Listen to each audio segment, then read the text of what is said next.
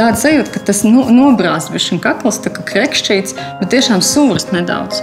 Un tāda sajūta. Ka galva arī tā kā, viņa kaut kā tā kā smaga, jā, tā galva, jā, tur. Kad ir tāds virpulis pier, uz pieres apmēram sajūtams. Un eh, ļoti grūts iegals no rīta ir.